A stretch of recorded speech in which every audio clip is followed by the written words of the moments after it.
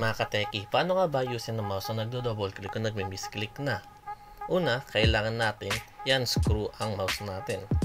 Pero pwede natin alisin muna yung weight para hindi makasagabal. And then, yan screw natin. Kadalasan, merong apat na screw ang mouse.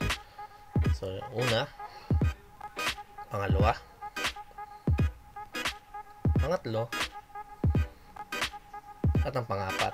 And then, dahan-dahan nating uh, i-uncover ang mouse. So, kadalasan may connector pa ito. So, pwede natin ito i-remove saglit para uh, mas madali nating matanggal ang mismong board niya dun sa base ng mouse. Ngayon, pag naalis natin yung screw ng board sa base ng mouse, pwede natin itong alisin para mas madali nating makita at maayos. So, yung kadalasang nagiging sira ay ito. Ang tawag dito ay mouse clicker. So, kapag nagdo-double click na o kaya nagmi-misclick na, kadalasan nandyan ang problema. So, kailangan natin palitan yan gamit ang soldering iron at desoldering pump. So, palisin muna natin ang cable para hindi makasagabal. Ito yung kailangan nating idihinang. So, mas maganda kung lalagyan mo muna siya ng LED para mas madaling mainitan at mas madali siyang i-desolder. Ngayon, gagamit natin ang desoldering pump para maalis ang pagkakahinang.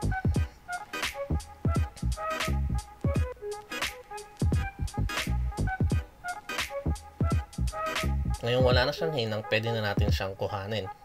So ito yung tinatawag nating mouse clicker. So ito siya, uh, napakaliit lang na piraso. Ito ay kadalasan na mabibili sa Lazada o sa Shopee o sa mga electronic store. Uh, napakamura lang na to at siguro nasa 10 piso ang isang piraso lang nito. So para mas madali makita, ito siya. So tiningnan ko sa Shopee ngayon. Ngayon siya ay 20 pesos. Ngayon, dahil uh, mahirap ang order ngayon sa Shopee, gagamitin ko yung luma kong mouse. So, dito sa luma kong mouse, sigurado na hindi pa gaano sira yung right click. Kaya yun yung kukunin ko bilang pamalit dahil minsan lang magamit ito. So, kailangan ko rin siyang idihinan.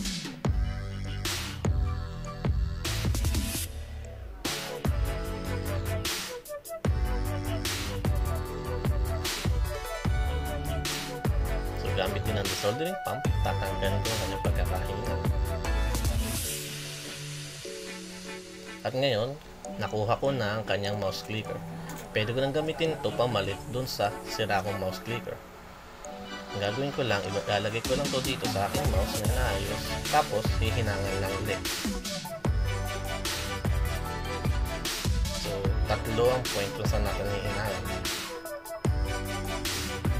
Saglit lang naman siya hinangan dahil napakaliit lang naman ng uh, connection ng mouse clicker dun sa ating board. Ngayon, okay na siya. Kailangan natin gawin ay ibalik ang cover ng mouse. So, ibalik muna natin ang cable. Tapos, ilagay natin ang base.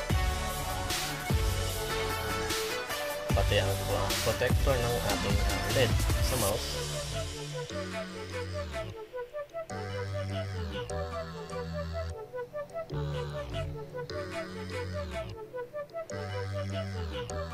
Iayos natin ang pagkakalagay ng cable. Then, lagay na natin ang screws. So, may dalawang screw on board papunta dun sa base ng mouse.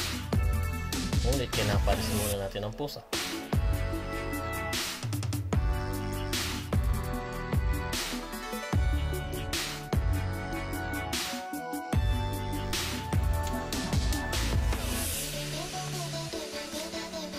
Kabit na natin ang cover.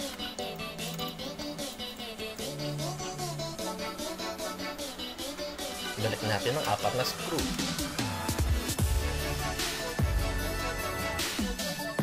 Pwede natin ibalik din yung wheels. Or kung gusto mo na mas magaan ang mouse mo, pwede rin hindi mo muna ilagay. Pero kadalasan sa mga gamer, mas gusto nila yung mga bigat na mouse.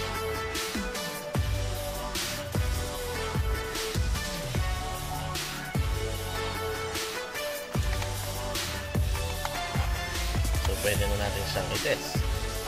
So, tingnan natin kung gumagana na siya sa actual uh, application.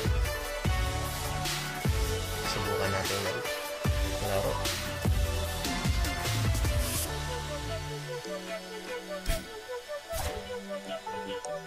So, tingnan natin. So, working siya.